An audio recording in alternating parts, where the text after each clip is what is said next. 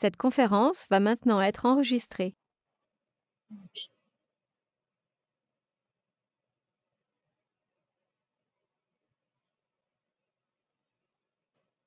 Okay, so hi again. Uh, this is going to be a lecture on brain-computer interfaces, their past, the present, and the future, as I see it. And um, this is what we are going to go through today. We are going first to see an introduction, see some background knowledge in case you haven't followed the previous classes, see a brief history of the BCI uh, up to 2000, and then see the most recent applications, mostly medical applications of BCI, and then touch a bit on uh, its commercial use, and then see what the challenges are for the future and the promising research and ethical considerations. Um, first things first, I just want to mention that we've seen it in the previous lecture, but just to just to refresh your memory, that neurons are the. I'm not sure if you can see my. Wait, okay, that the neurons are the basic uh, type, are the main uh, component uh, of the brain and they make up uh, circuit, uh, circuits and neural networks as we see here. And different parts of the brain are associated with different functions. They are not strictly, uh, we cannot strictly assign specific regions to specific functions, but we have an idea what, uh, when we want to do some stuff, where we are going to apply our um, experiments. And the main thing uh, for today, which is going to be important for today, is to understand that neurons can be activated, can be active, and when they do so, the, they generate electric signals, like we see here. And uh, those uh, Signals can be measured by uh, a lot of devices that we are gonna see in a bit. And uh, let me just, yeah, okay. So what is a BCI? A BCI is basically a connection between the brain and the computer. And uh, it's um, it's an idea that involves numerous ideas from different fields blended together in order to to achieve something that efficiently uses the brain signals to uh, to perform actions using different external devices or effectors as they are called. And how BCI works, first we have the acquisition of brain signals uh, that can be done with different um, with different brain imaging modalities that I'm gonna show you in a bit. And then we have the translation of the brain signals into something that the brain can uh, can read, digitalization. Then we have some signal processing. Basically, we try to characterize the brain signals, uh, see what's interesting uh, among all this data, and then translate what we find interesting into specific actions. And uh, there are many different types, uh, different strategies on how we can control BCI, brain-computer interfaces. And uh, one of them is uh, motor imagery, Im Im imagery um, which is basically uh, the imagination of the movement uh, of various uh, body parts. uh, which results in the activation of the sensory motor cortex. And in turn, it changes the brain activity. It activates the neurons, basically, as we have seen, uh, measured by uh, our brain imaging modalities. And uh, another control strategy is neurofeedback uh, for passive BCI designs, which is actually uh, control the BCI based on other bio biological markers like how how calm we are or our body temperature or our heart rate or uh, even neurofeedback, like what's happening on our brain. The the basically, sorry, the machine can read what's going on in our brain and uh, apply something based on that. And then we have the visual evoked potential, which uh, is basically uh, neural activity after uh, the subject of, or the participant or the user of the BCI is presented with a type of visual stimuli. And I'm gonna just briefly mention some of the main brain imaging techniques we use for BCIs, uh, which is um, first electroencephalography, EEG, which measures the electrical brain signals from the scalp it's basically a couple of electrodes. Uh, it can it can start from as a few electrodes and go up to, to, to hundreds of electrodes. It has very high temporal resolution, and, and that's why it's so useful in BCI applications because it measures electricity, which is base, basically very fast. um, we can uh, detect brain activity in no time and uh, then decode it and uh, have the BCI do the do the action. Uh, it has a low spatial resolution, which is uh, not a big problem in some BCIs, but in others we are going to see that it needs a much higher spatial resolution. And uh, one important thing to mention about EEG is that it can uh, we can either use it with event-related potentials. What uh, what event-related potentials are is basically from the time that the subject or participant is presented with a stimulus, uh, we can basically average over the uh, over the activity of the brain activity of the subject uh, time locked or centered around the stimulus. Like we see here, for example, we see that we can do the same thing uh, in many trials, then center all the trials above the based on the on the time that the stimulus was presented, and then get something that's uh, get something like that.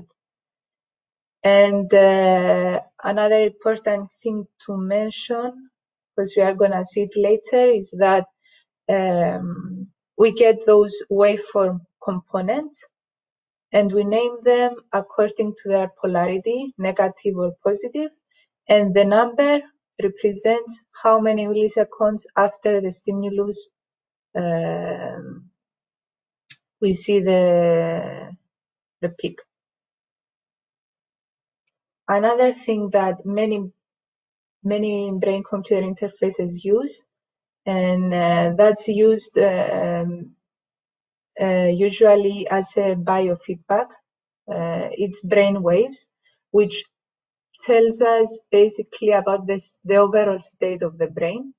And the good thing about brain waves is that they they they have individual they have differences based on based on the individual, but overall they are pretty consistent. So uh, it's it's pretty practical for BCIs. And then we can also have brain-computer interfaces using uh, invasive uh, ways of measure brain of measuring brain activity. And uh, we have ECOG, which is basically a grid of electrodes placed directly on the surface of the brain. And uh, we have as implanted electrodes as well, which they can be implanted uh, deeper than the ECOG ones. And both of them can actually uh, record activity, but also stimulate the brain, change uh, the brain's activity based on uh, the experimental protocol or the or its use in the brain-computer interfaces. And uh, another thing to mention, basically ECOG uh, has the same type of uh, recordings as the EEG, but much more, much less noisy and much more precise in terms of localization. And electrodes can uh, give us information about uh, single neurons as well, like we see here. I'm not sure if it's big enough. Uh, but basically, we see here that every line is a different neuron, and we can have uh, the exact timing uh, it spiked. And that's quite important because because uh, we need the brain-computer interfaces to be as fast as uh, possible. And uh, yeah, do you have any questions up to now? Or anything that's not clear? Uh, by the way, I, I can't see you, so you probably have to speak. But I know I'm gonna connect through my phone. Uh, okay. So we can now uh, begin to see a brief history of brain-computer interfaces. And uh, I'm gonna start. Sorry, sorry about that. Um, I'm gonna start by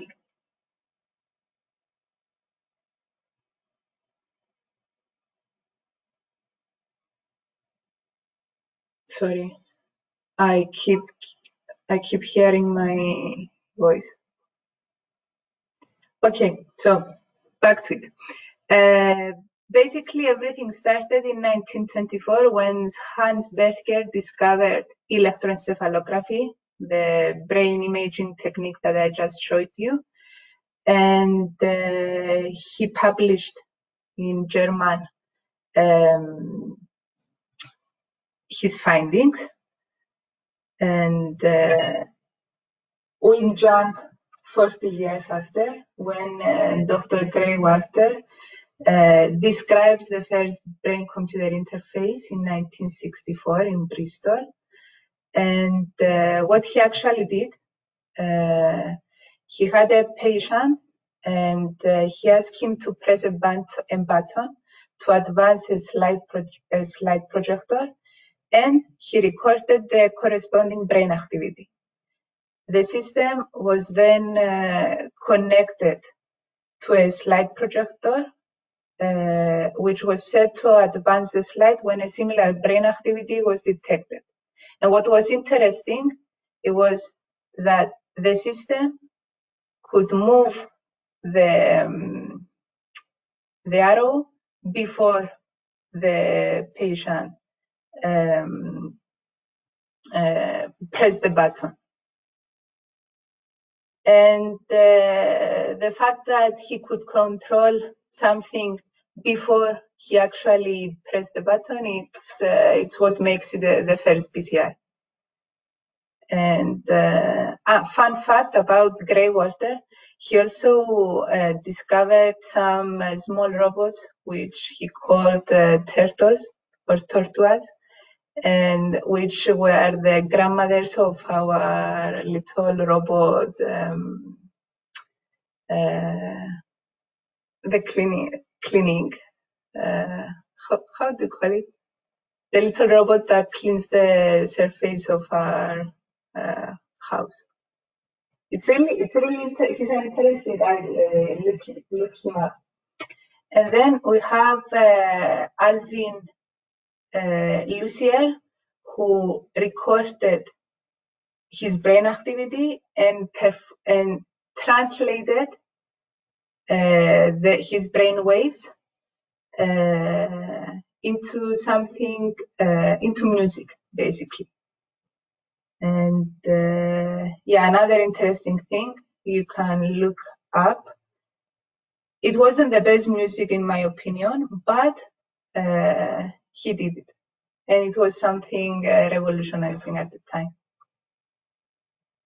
And then we have Dr. Jacques uh, Vidal at UCLA uh, in 73, which for the first time publishes uh, something on brain-computer interfaces, and he coins the term brain-computer interfaces. And we can see here that it, it was pretty um, complex, his setup.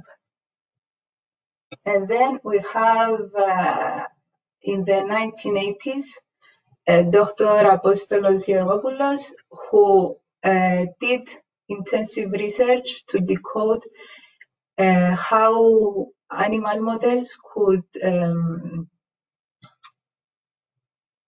to decode animal the brain activity of animal models and he was actually able to predict directional movements and uh, from a group of neurons actually we can see here this is something similar to the to this thing that I just showed you, to this thing right here.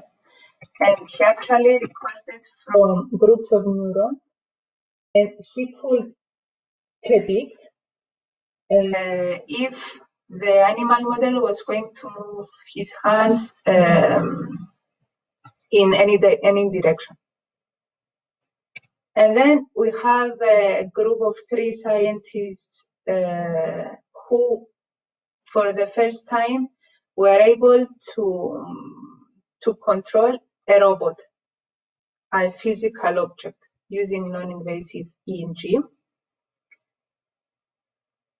And uh, the, same year, we have a quite big, uh, actually everything was a big discovery, but we have Dr. Farwell and Donchin, the two um, guys here who developed the first P300 speller, which is actually a brain-computer interface that allows uh, allows the subject to type on the screen based on the on on its on the brain waves.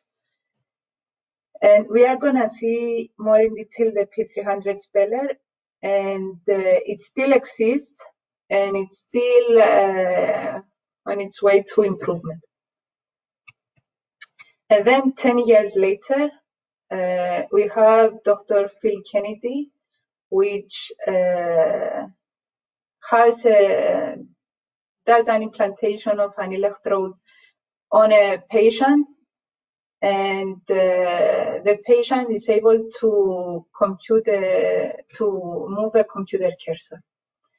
And another fun fact about this guy right here is that uh, a few years ago, he, even though he was uh, healthy, he underwent uh, a, neuro, a neurosurgery in order to implant electrodes on himself and continue uh, his research. Because he said that his research, his research was gonna die if he didn't do it. And um, yeah, so, and then we have, I'm sorry, I skipped one.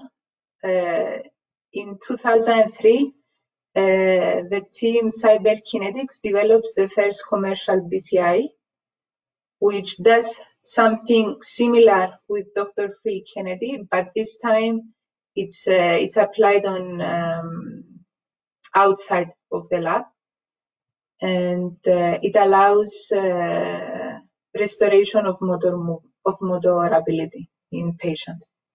And then we have in 2004 uh, Dr. Nicolelis, uh, which uses a rhesus monkey and succeeds uh, let me first explain you what the monkey did.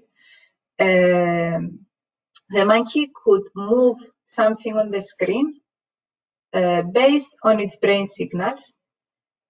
However, for the first time, the monkey could the monkey could have could have feedback um, on what it was doing, and we call that a closed loop uh, brain-computer interface. And um, yeah, it was groundbreaking. I'm not. I'm not sure if uh, I'm completely clear about how brain-computer interfaces work. So please disrupt me if you if it's not clear. Okay, I'm gonna go on.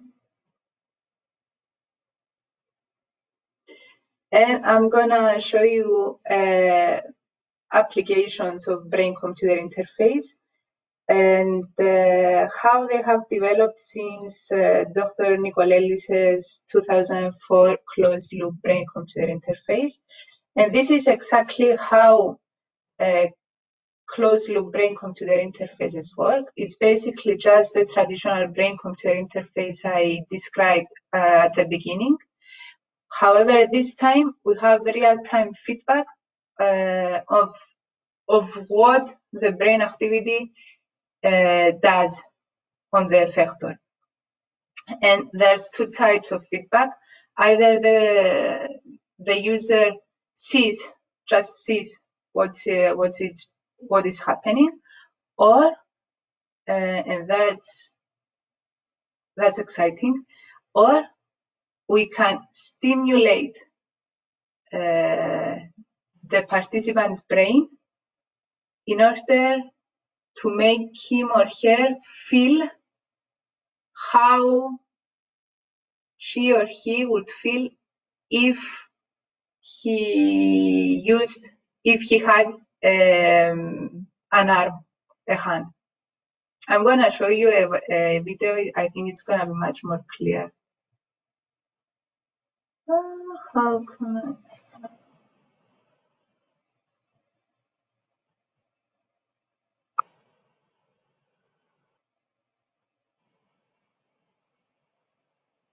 You don't have to pay attention to um,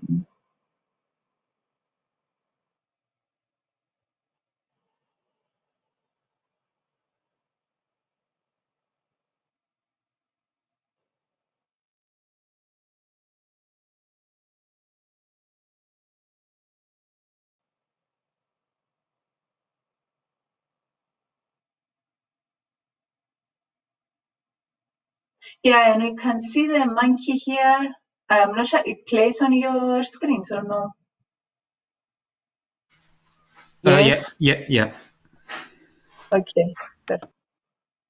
Yeah, so basically we can see that the hand that the monkey um, controls can grab uh, the food and uh, get it to, to its mouth. And uh, in this case, the monkey just was just able to see what's going on. That was the kind of feedback it used. And I'm gonna show you another video. This time it's gonna be a human.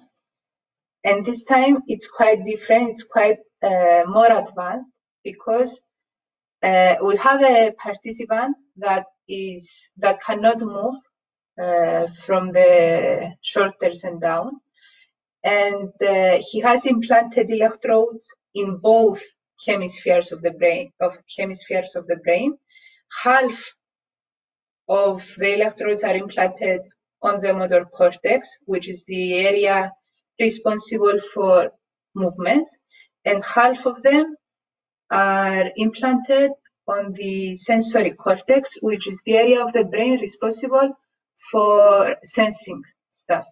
So he can control both hands because uh, we have implanted both the both hemispheres, and um, he can actually perceive both hands. And uh, so there are two goals associated with this BCI. First, read the signals from the motor cortex and perform the actions, and then simulate the feeling that the hands would have otherwise, and uh, communicate it to the participant's brain. I'm gonna, again, you don't have to listen to the explanations.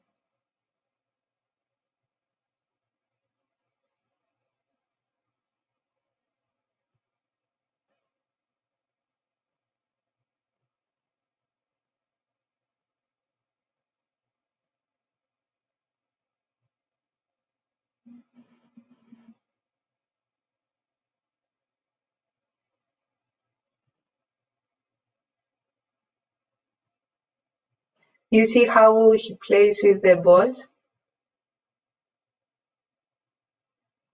And another uh, great thing about this um, this brain-computer interface is that it can control the hands, but in case the participant wants, okay, this is in a lab uh, setting, but in case it becomes commercialized, it can also connect to other devices other than the hands and control uh, the other devices as well, whether it might, they are a screen or um,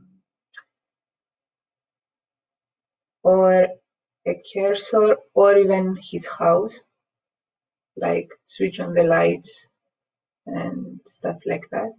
And we can see him here that he he is at the point where he can control each hand independently and cut a piece of potato, I guess.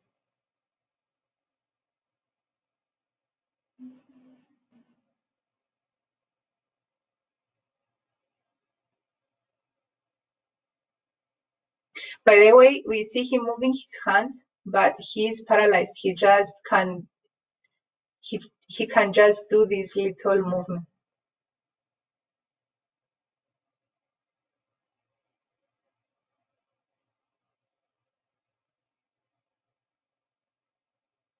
Okay, the cameraman was not that great. Okay, yeah. That was it. Um,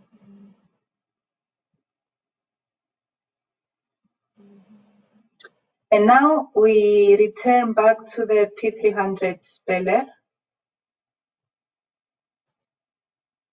Um, yeah sorry. Mm-hmm. Okay, here we go. So, which is an EEG based, it's, it's much less complex than what we have seen with the robotic hands, because now we are just uh, controlling what we type on the screen. And it's, it's EEG based, so no need for uh, surgeries and it's solely, solely based on the P300 signal, the event-related potential that uh, I explained earlier, which is the brain, the brain's response to surprising and unexpected stimuli. And it uses the oddball paradigm, paradigm, which is basically something very simple but very useful. Uh, there are presentations of sequences of repetitive stimuli, and then there's an infrequent or, or irregular uh, stimulus, uh, which elicits this P300 surprise response. And in this case, the target stimulus, this that the stimulus that's gonna uh, stimulate, uh, that's gonna cause the P300 signal, is light. Uh, it's light on the letter that we want to type. I'm gonna show you the video. I think it's gonna be much more. Uh,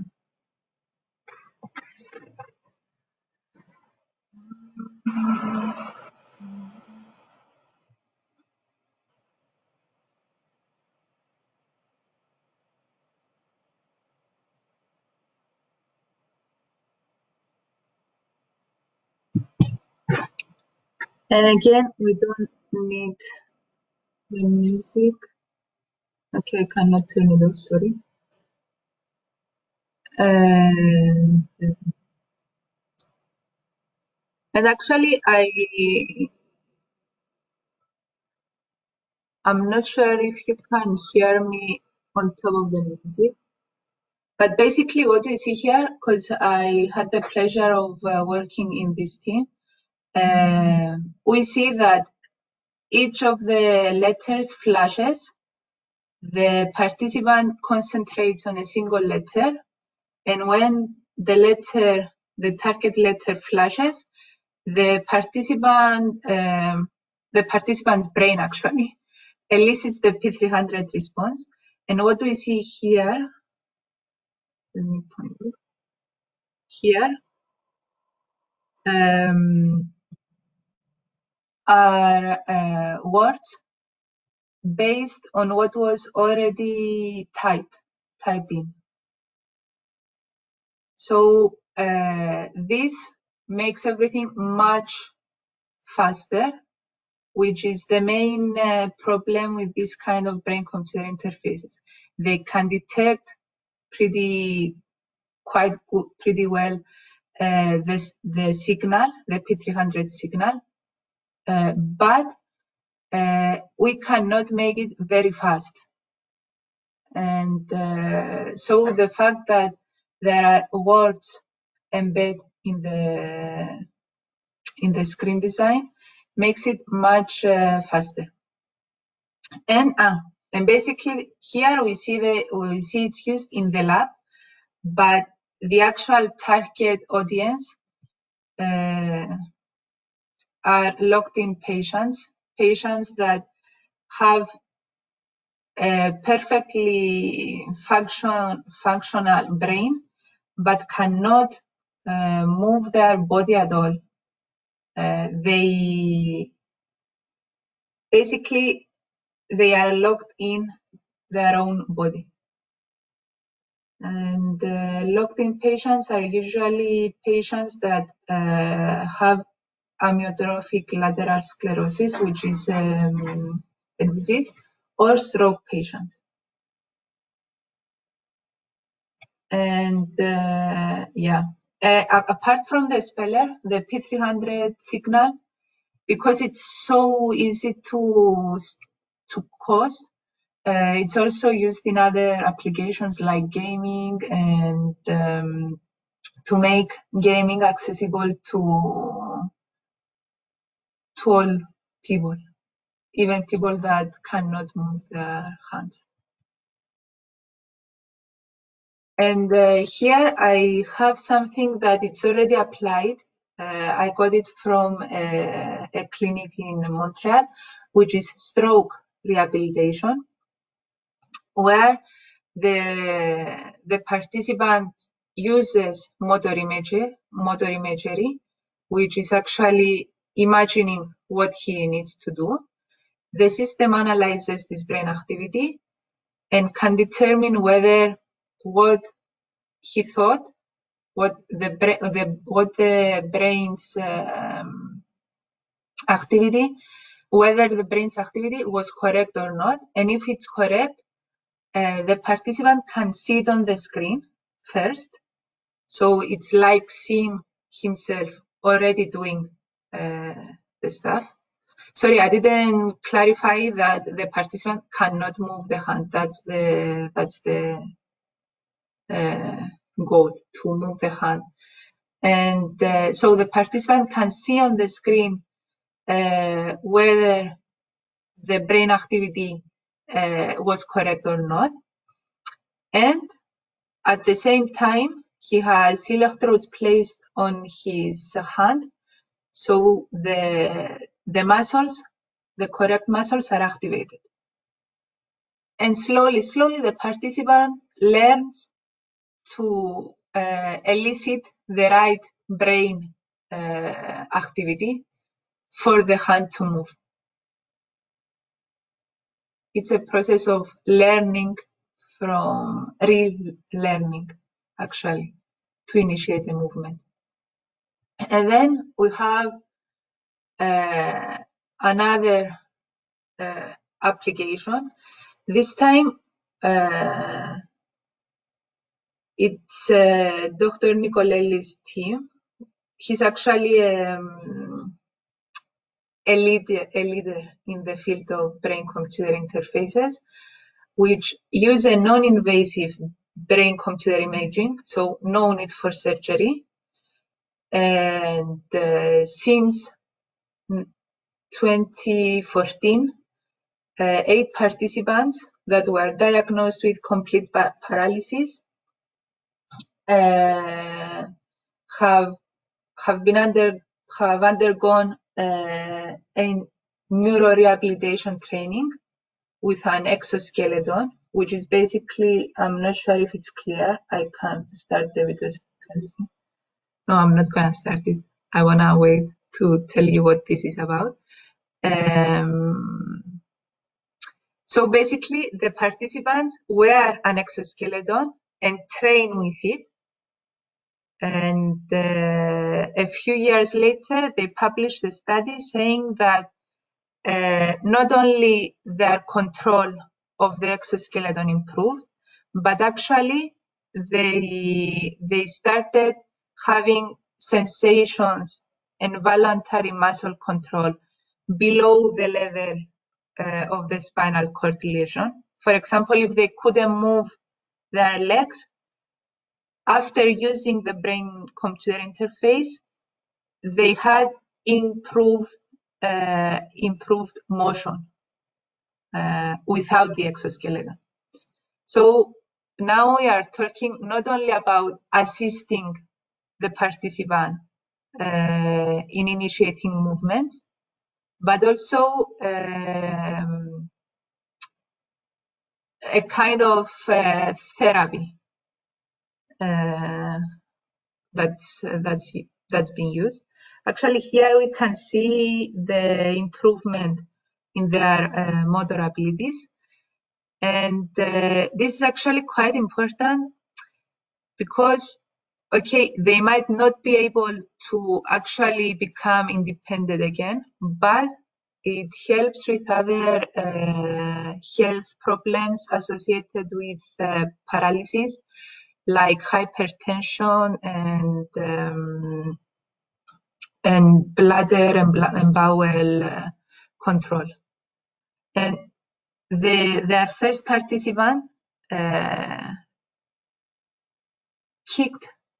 I don't know how call in football terms, but did the first kick to initiate the World Cup in 2014. okay, now we seriously don't need to say this.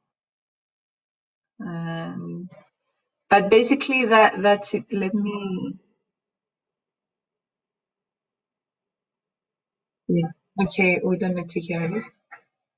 And uh, yeah, basically that was a big uh, moment for the field of brain-computer interfaces. And uh, yeah, I mean, Okay, it's pretty exciting. I'm not sure if you're excited. I cannot see you or see your faces, but it's exciting, let me tell you.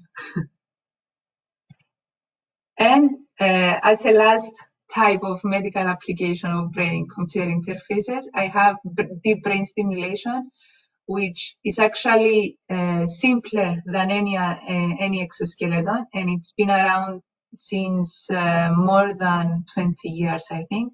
It's mostly used for um, patients with uh, Parkinson's and other tremor-related uh, uh, diseases.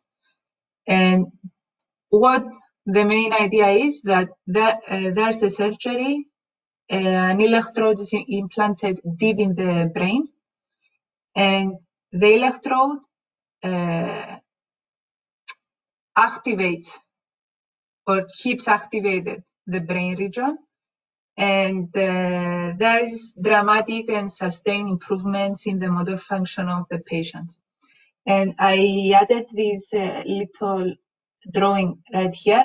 This is the drawing of a spiral, a spiral of a patient before the surgery and after the surgery. Basically, that was the target uh, spiral. I'm not sure if you can. See. Yeah, that was before and that was after. And a spiral was the target. And fun fact about this brain surgery, uh, the patients are wide awake uh, because the surgeon needs to check that the electrode that he's, he or she, or she is gonna uh, implant is not um, is not altering uh, something other than the structure intended to alter. And another interesting thing about this uh, operation is that sometimes uh, people experience flashbacks during the surgery, and that's what um, inspired research in applying this type of stimulation in Alzheimer's disease. And then as a last step, I added the commercial brain-computer interfaces, which um, are quite, um, can get quite diff, uh, different uh, uses. Uh, we have the BrainGate that I already mentioned. It was a medical application, but we can also have gaming uh, brain-computer interfaces, where the main idea is getting the player closer to the game, eliminating the game control, and just uh, trying to make the whole experience more immersive. Another thing about commercial BCIs is that since 2016, uh, some group of uh, hobbyists uh, of brain-computer interface uh, started a kit which actually allows everyone to buy uh, something like a, not something like a, a type of of brain signal measure and uh, kits to create its to create our own brain computer interface.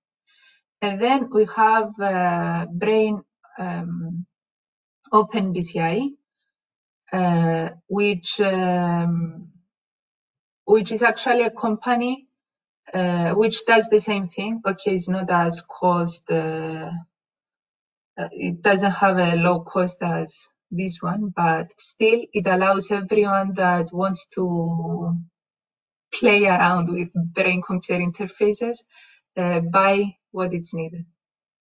And there are many uh, open resources about brain computer interfaces.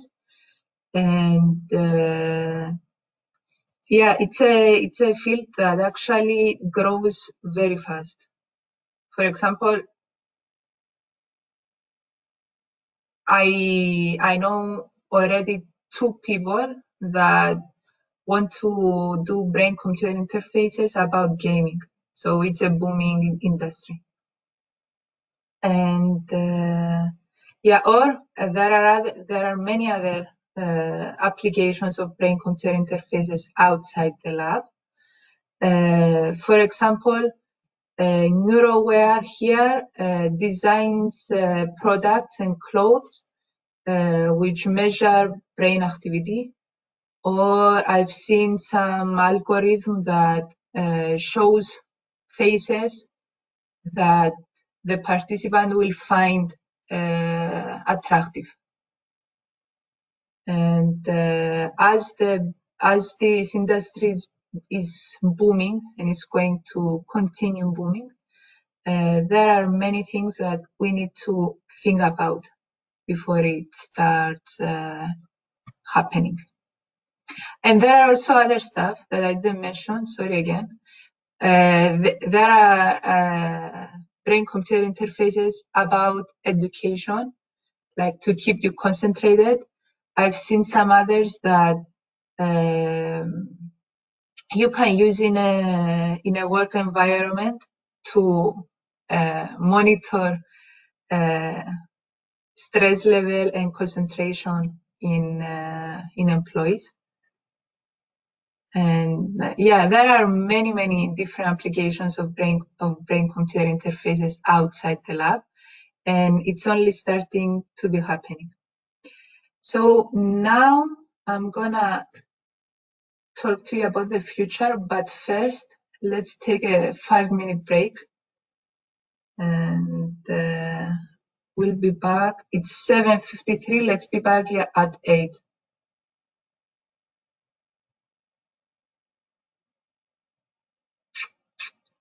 Not sure if you hear me.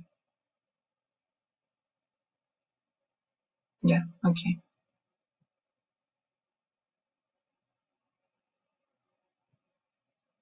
Yeah, I'm gonna see you in a bit.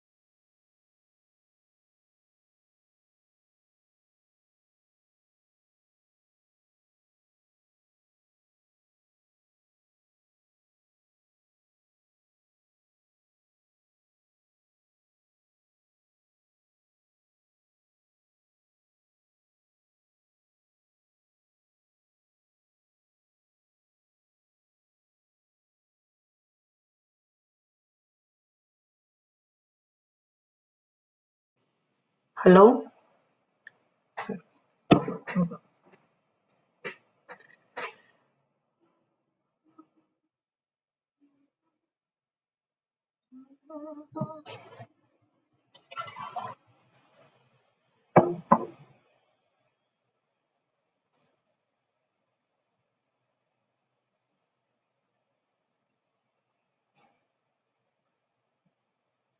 Is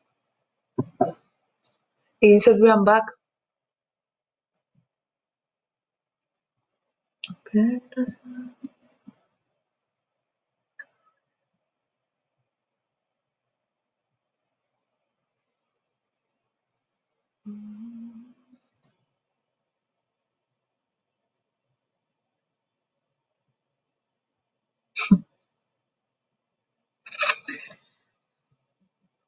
Okay, uh, I hope you are back. And uh, this is gonna be the last part of our of my presentation today. And it's gonna be about the challenges, the promising research, and the ethical considerations associated with this um, research. And um, yes, so I'm gonna start with the challenges and it gets a bit technical, so I'm gonna be fast. Uh, first, in terms of uh, hardware, the electrodes that uh, the implantable electrodes basically need to be flexible and need to get as flexible and need to get as small as possible. And if um, and if they are implantable, they should also resist the corrosion uh, that they will undergo, undergo uh, in the brain. And uh, they should also have a, a large surface, but not a big size, which is kind of tricky to uh, to accomplish. And um, yeah, I keep um, I keep thinking if what I'm saying makes sense to you, but I'm gonna go on. And uh, basically, what, what I'm trying to say is that the electrode, the thing we use to measure the brain's activity, needs to be as small as possible to be inserted into the brain. And it also needs to have a large surface area in order to be able to record from a large, large area around it. And it also needs to be flexible so it doesn't uh, destroy uh, the brain and it by being flexible, we are also flexible in where to put it, in where to place it actually. And then the chips,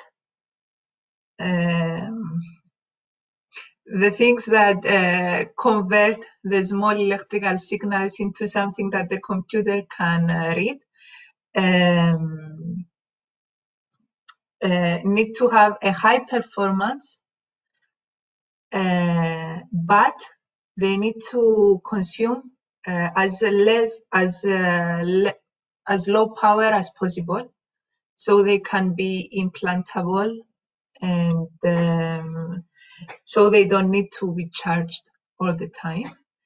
Then we need the whole thing, the electrode and the chip and the whole mechanism to be uh, hermetically uh, packaged, meaning that it, it needs to be in as uh, low contact with the brain tissue as possible because um, it can destroy it through time.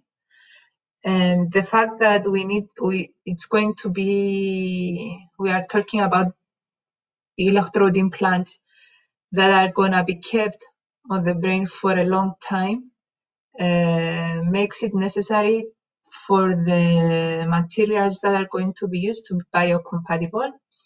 And then when we have achieved all this, the neurosurgery part has to be taken care of because uh, as the electrodes are, are getting smaller and smaller and more flexible, it's gonna be harder for a human hand to to manage them. So we would eventually go into robotic surgery and uh, yeah some companies actually claim that uh, they can implant uh, through just a small hole on the skull and uh, insert the electrodes using robot. It's actually for the moment it's actually done in uh, academic labs.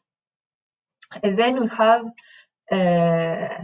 the software part um, which is actually getting the brain signals into computer signals and then taking those computer signals and uh, processing them as efficiently as possible in as uh, low in in no time basically uh, and uh, translate it into actions.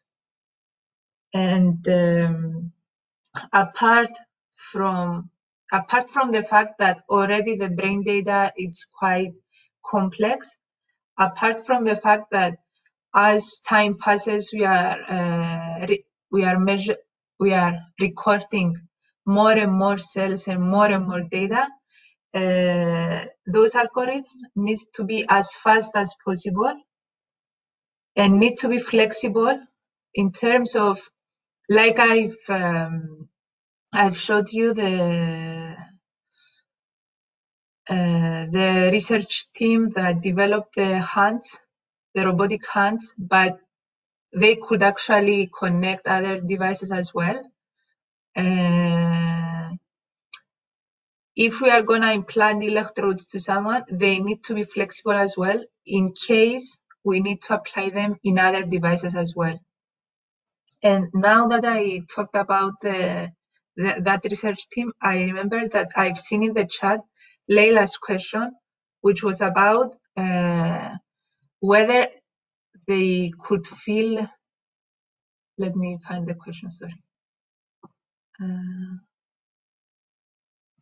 yeah, whether they could feel as if they had uh, hands, and basically the answer to this is as a first step, they try to control the hands using brain signals. But even if they did, even if they accomplish that, uh, the the user is actually using a hand uh, with no sensation. It, uh, unless he's seeing the hand, he cannot tell what's going on. And um, by what they are trying to do is uh, having a hand with sensors and according to the sensor, like for example, if you touch something that's, uh, uh, if you touch something at this uh, location, they should, they aim basically to send a signal to the brain that says exactly that, that there is something in this particular location right here and you are touching it. So uh, basically, it's not as if you had a, a, hand, but it's much better than not having any sensation of what's going on with the hand you control. And I hope it's clear. And uh, yeah, I'm gonna get back to this thing. So these are the brain computer interface challenges in terms of technical stuff. And other than that, uh, we should also include in the in the equation the fact that we need to take into consideration who the the user is going to be and how usable it is. Like for example, we've seen those uh, um, those uh, research teams working on exoskeletons and uh, robot hands and all that. But we should also take into consideration how the patient feels, how usable it is outside the lab. And uh, another thing that maybe it's not as true for uh, those who are paralyzed, but it's true for um, the P300 speller, for example, which is going to be used by people that are locked in. We should take into consideration the patient's environment. By environment, I I not only I don't mean only the house he is in. I mean the people as well, like uh, the people uh, in the environment of the patient should have a say on how brain-computer interfaces are um, developed in order for them to make it uh, for them to make it easier as well. For one example that I didn't include in the presentation, but I can think of it now, is for example, one way to uh, personalize 300 speller is actually take all the words that are suggested here and um, adapt the word dataset using the words that are going to be needed by the patient. And I hope this is quite clear. And uh, yeah. Yeah. So this is these are the brain computer challenges from the perspective of technical staff and from the perspective of uh, user satisfaction. And uh, I'm going to present you some ideas that have not yet been implemented, but they are on their way and they are quite promising. The first one is uh, this passive brain computer interface. And by passive, I mean that um, that we use the brain computer interface not to control something explicitly, like I'm not gonna use it to raise a hand or communicate with someone, but based on my brain's uh, activity, the brain-computer interface can do something. And in this case, we we are seeing an idea of applying brain-computer interface to uh, as a brake in cars and what this actually does, I'm sorry. it's uh, it activates the car's brakes before the the muscle, the motor, um, uh, the motor action is uh, is, initi is initiated, and basically this uh, results in uh, braking much faster. Actually, not much faster, but in the case of car accidents, even the even milliseconds count, especially in the case where the where when you are going fast. And uh, yeah, this is an idea of BitBrain. Uh, another quite interesting thing, uh, quite exciting thing, is what we call what it's what we call neural dust. And uh, basically, what this is is a very very small uh, device which operate as, operates as a nerve sensor. It's powered by ultrasound, so no need for wires, no need to, for chargers or anything like that. And it exploits the fact that ultrasound can pass through most of our tissue quite easily. And uh, yeah, so it gets power from um, ultrasound and it we can place it somewhere in the brain and have real-time information about uh, about neural activity. So we have very high spatial tempo, spatial resolution and very high temporal resolution. And we can actually measure a bunch of stuff like uh, pressure and temperature and oxygen levels and things like that. And uh, the company that develops, actually, it's not a company, it's a lab, it's a lab associated with a company, projects that they can make this even smaller. And uh, they can actually they have actually created something that does the same thing but can stimulate the brain as well. And uh, yeah that's something that's got that's gonna change stuff for the moment it's only applied on uh, animal models but if everything goes uh, right um, it's gonna be applied on humans as well.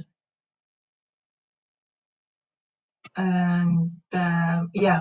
Ah, i couldn't present you brain computer interfaces without touching on neuralink elon elon musk's uh, startup uh, claiming that can uh, can connect the brain to the internet. And basically um, I I included it here because it uh, it's a nice transition to talking about augmented co- augmented cognition and how brain computer interfaces can help us become uh, more powerful in terms of cognition. It- this augmented cognition can come in many flavors. It, uh, it might mean uh, bigger memory. Uh, it might mean that um, indeed we are connected to the internet. Um, it might mean that we can actually recall stuff much more efficiently than we do now. And uh, uh, or we do things much faster than we do now. And uh, yeah, that's uh, that's the idea. Uh, that's the idea. And basically, Neuralink's idea it's uploading and downloading. No, actually, that's not the Neuralink's idea. That's that's what Elon Musk claimed at the at the point that we can actually upload and download our thoughts, which currently is impossible. But uh, we might be able to do many stuff uh, in the next few decades. And uh, and Neuralink actually the big uh, contribution to the field is that they designed the first uh, implant. It's not yet uh, applied onto people that that records from much higher number of electrodes than we do right now. And so we have much more data and uh, supposedly much more uh, precision in terms of what we can do. And uh, yeah, they also say that they can connect the brain to many different interfaces. Like they, uh, you can connect your brain to a keyboard or your phone or a computer and uh, or any application or stuff like that. And I'm not saying that it's impossible. I'm just saying that for the moment, that's uh, not possible. For the moment, yeah. Uh, but augmented cognition it's a subject in uh, it's a it's a hot topic in the brain computer interface uh, field and another interesting thing I'm I'm gonna show you today probably the last is this monkey brain net and brain to brain communication and uh, again uh, Dr. Nicolelis's team designed this experiment where three monkeys, uh, they record the activity from three monkeys, three monkeys' brain, brains, in order to move a virtual hand. So one monkey controls the x-axis, the other the y-axis, and the other the z-axis. And uh, interestingly, they succeed in doing so. And even more, even more importantly, uh, as they do so, they they improve in doing so. And that's another interesting thing about brain-computer interfaces. Again, we are uh, we are not close to doing this stuff on humans or doing this stuff for more complex tasks, but it's something quite interesting in the field. Uh, feels like a movie or something. And uh, it actually, another thing to think about that is that we can use our brain and through the use of internet, for example, we can also um, control things. Excuse me, someone say something.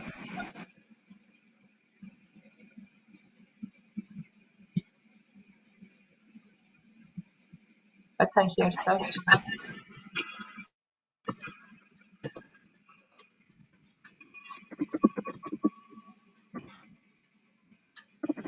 Why? Anyway.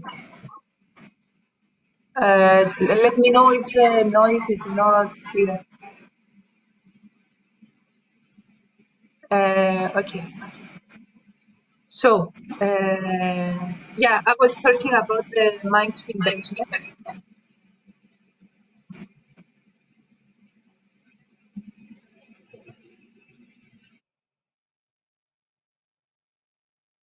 Okay, now we are good, I think. Okay, yeah. Sorry about that. And uh, yeah, and this, uh, it's a good transition into the ethical considerations we need to have before uh, welcoming brain-computer interfaces into our everyday life. Uh, I'm going to present to you four main ethical considerations that have been uh, proposed by field experts. And the first one is privacy. And uh, you have to imagine that you have to imagine a scenario where brain-computer interfaces are widely used and this might be the case in uh, in the next few decades. What are we gonna do with all the data that we are gonna collect from them? Because essentially, for the brain-computer interfaces to work, they need to collect neural data, and they can save them as well. And those data can be used to make algorithms uh, for example, like the the ones we are really familiar with that uh, are used to target um, for targeted ads. Imagine how powerful uh, this can get if uh, if a company has data about how we feel and uh, what do we pay attention to and uh, imagine, for example, scrolling through an online uh, retail website like Amazon and uh, having data showing how you feel about a particular product in real time. Or it can, uh, can be also used by insurance premiums. Uh, it can be used by uh, by algorithms that match part potential partners and stuff like that. And neural data can be actually very powerful. And uh, we need to think about how we are going to protect ourselves from all these uh, data powered uh, algorithms. And one uh, suggestion is the right to keep our neural data private and uh, even if we choose to not keep them private, we should have the option of opting out uh, at any given moment. The data that are that uh, is saved needs to be protected and uh, explicit consent should be given in order to use the data and there should be a clear specification of who will use the data and for what purposes and for how long. Because uh, imagine that uh, even though I might opt out from uh, giving out my neural data, uh, somebody else, uh, if everything, everybody else does not, uh, the the data driven algorithms can apply to me quite um, quite well. I'm not I'm not sure if I'm being clear again, but I'm gonna use different words. What I what I wanna say is that if somebody wants to target me as a potential audience using neural data, even though he or she might not have my own neural data, he or she might have uh, neural data from people similar, if I may say, in terms of the demographics at least, to me. So uh, I'm gonna be targeted as well. So uh, we should give consent about that too, and we should restrict the centralized processing of this data and uh, ensure that at any given moment we can turn them on and off. And uh, yeah, um, also there are many different things that I gave you examples that okay, I mean the bigger the biggest harm will be me buying uh, stuff but they can be used for many different uh, things, uh, like, for example, um, they they can open up the possibility of manipulating different people and even manipulating uh, the people's experience if we if we if we are up to a point that we are connected to a brain-computer interface that can alter our brain state. And then another thing that I wanted to mention as a consideration is the the question of agency and identity. And uh, neurotechnologies can disrupt our sense of identity and agency uh, as well as the nature of the self and personal responsibility. Basically, they can alter the idea of who we are. And I'm not I'm not talking about anything too extreme here, like uh, fantasy movies or anything.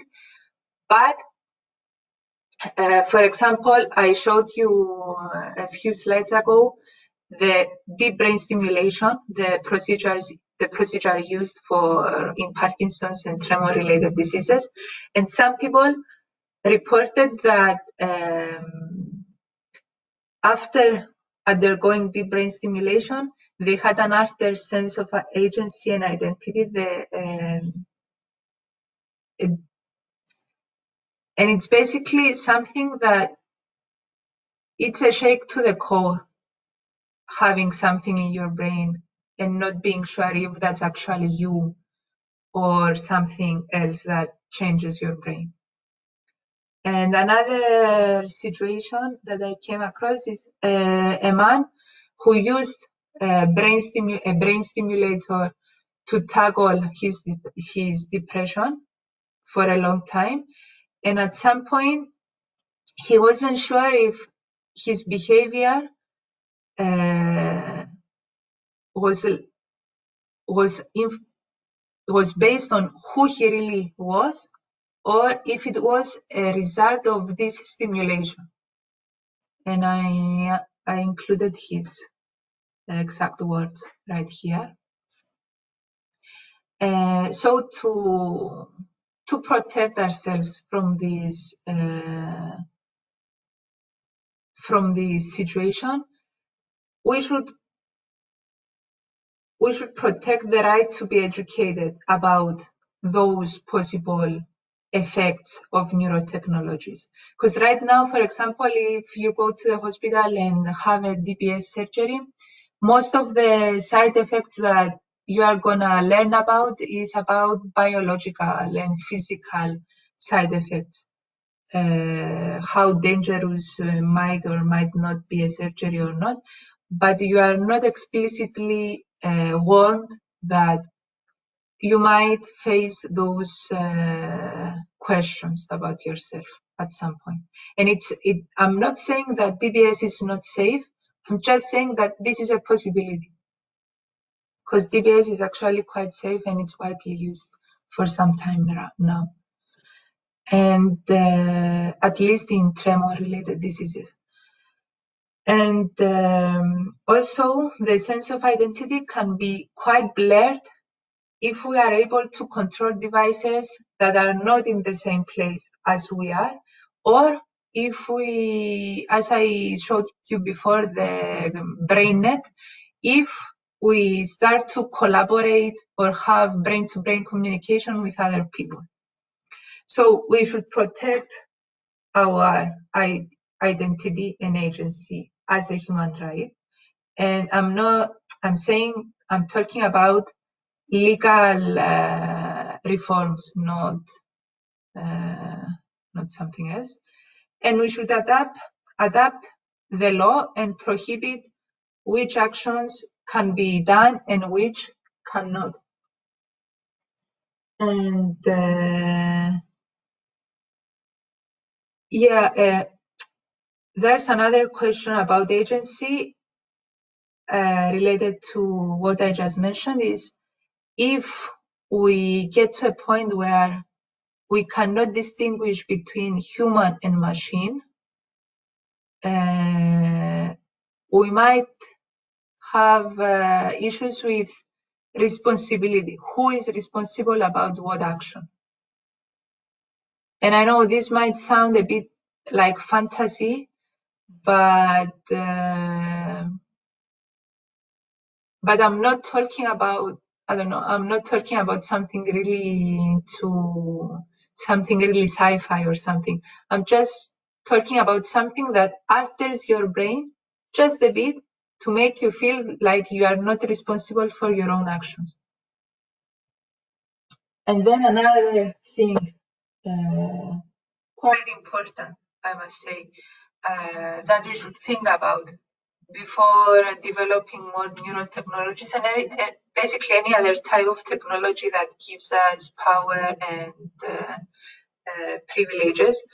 Uh, we should think that technology should privilege should privilege all the groups uh, equally and not harm some groups. And uh, such biases can become embedded in neural devices.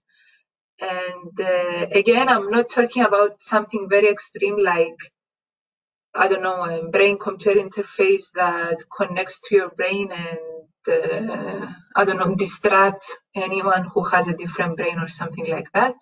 I'm just saying that, uh, okay, one idea that comes to mind is, for example, that right now there are many data being collected about possible uh, treatments of diseases and optimal uh, clinical decisions that should be taken in the in the case where somebody gets sick. And uh, so, if this data is collected from uh, a specific population, let's say it's collected only from from men, uh, then those then the resulting algorithm will be beneficial will be much more beneficial potentially much more beneficial to men than any other um, demographic and uh, this is something that already happens uh, the data collection and from who we collect the data and on who we apply those uh, the technologies that, that we develop. So this whole idea, this whole problem can be applied to neurotechnologies as well. For example, think, let me find an example in uh, in the BCI uh, uh, situation. For example, imagine having a brain-computer interface uh, that helps you concentrate, but the algorithm that takes the brain the brain's activity and turns the turns into stimulation has only been um, has only been trained or has only been trained on a specific population of uh, I don't know a specific population, then it's gonna be much more beneficial for the population on which uh, the data from which the data were collected than any other population. And this can lead into biases and inequalities. So what uh, we might suggest to tackle this is first, the probable user groups should have an input from the very first moment of the design of the algorithms and hardware. The biases should be addressed from the very first moment of the research. And there should be ongoing public discussions and debates about those, uh, those biases. And uh, another thing quite important in, um, in all the technological fields is that advances in technology should be um, an effort of many different experts, including humanists and social scientists and um, and people that whose whose first uh, whose primary focus is uh, doing is avoiding any inequalities uh, from the that might be caused due to the neurotechnology. And uh, yeah, st still, I think the academic and research field is quite narrow and uh, how can I say it? And uh, it's it's it's a structure that it's not the most um, not all people are represented equally in the academic field still still. So it's something that you should take into consideration. And the very last ethical consideration that i want to touch uh, is augmentation. And again neurotechnologies uh, can enable our mental capacities to go beyond the human uh, limits. So uh, we should first control this augmentation, the levels that we can uh, we can get to, and we should also um, make sure that everyone has access to it. And this relates to my previous point about uh, biases and discrimination. So we should uh, define how how neural augmentation can uh, can be used and uh, ah and another thing uh, this whole augmentation idea uh, is has been funded by by organizations associated with the army and uh, I'm not saying that this is necessarily bad. I'm just saying that augmented cognition, in my opinion, you you can uh, you can disagree if you want, should not be used for uh, military purposes, or if they are gonna be used, they should be very carefully regulated.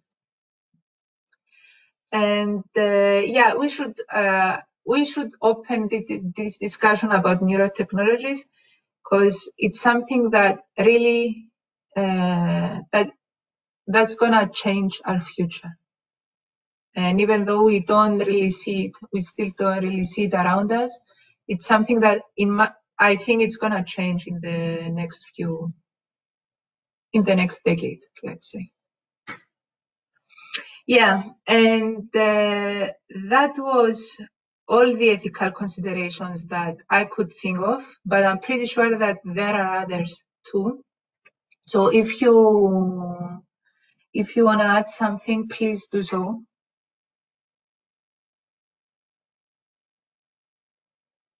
Yeah.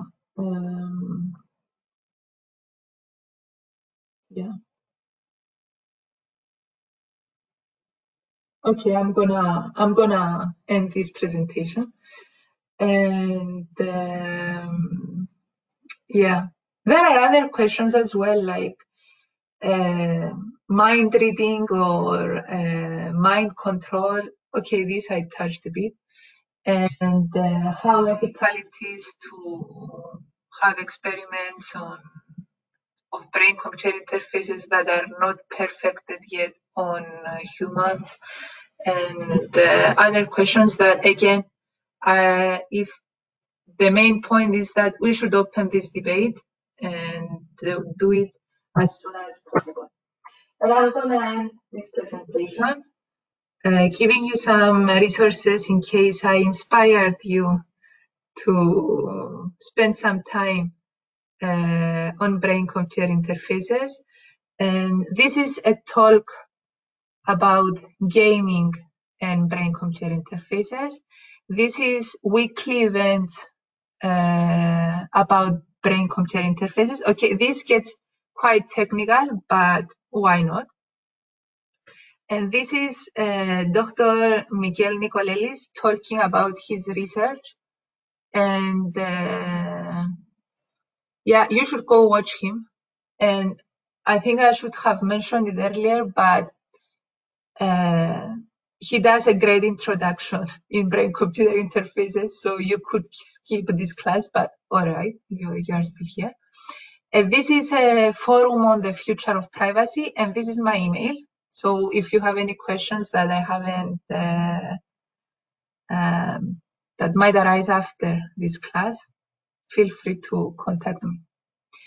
And I also need to give you a small note that this was a presentation that didn't touch at all in brain in brain signal processing and uh, the whole field of algorithms on how to translate brain signals into actions of a device. And this is again a huge field and people uh, actually focus on this stuff for their whole lives and it's basically one of the aspects of brain computer interfaces that it's gonna change them uh, quite radically. And that was it from me today. I am gonna share my presentation and the references as well with you. And um, in case you are you are already on the mailing list, we are gonna mail them to you. Or you can also, oh, you can send me an email as well in order for me to have your email if you are not subscribed to us. And this presentation was recorded, so it's gonna be on YouTube soon. And uh, yeah, that's it. Thank you. And let me check if you have any questions right here. Uh, uh, uh, okay, I see the chat. Okay, let's see.